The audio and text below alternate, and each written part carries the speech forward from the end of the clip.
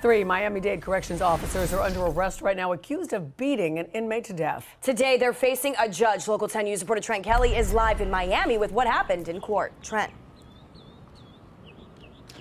The, the incident itself happening back in February. Those guards, though, were just arrested by authorities yesterday morning on several charges, the most serious being second degree murder. As a result, all three appeared before a judge in bond court earlier this morning. Let's take you now to some video from that court appearance. 34 year old Kirk Walton, 29 year old Christopher Rolon, and 24 year old Ronald Connor are all charged in the deadly beating of 60 year old Dade correctional inmate Ronald Gene. Ingram. Ingram's body, we know, was found inside a transport van back in February. According to prosecutors, the guards beat Ingram to death after he allegedly threw urine on one of the officers while being transported to a different facility. An autopsy later showed Ingram died from a punctured lung. Now, in court today, attorneys for one of the guards challenged those charges, saying there's really no proof that his client caused the injury that later led to Ingram's death. Take a listen to what he had to say to the judge there's just no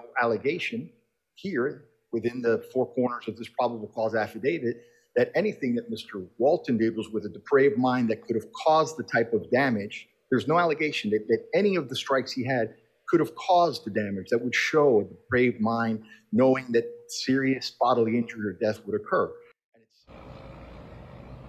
Now, in the end, though, Judge Mindy Glazer did find probable cause for all of the charges against all three defendants. Those include that second degree murder charge, as well as an aggravated battery and conspiracy charges. As a result, all three guards are now being held in jail on no bond, pending the outcome of another court hearing. By the way, the state attorney's office is set to hold a news conference later this afternoon to discuss these arrests further. We, of course, will be there and we'll let you know what happens. For now, that is the latest live from Miami. I'm Trent Kelly, Local 10 News.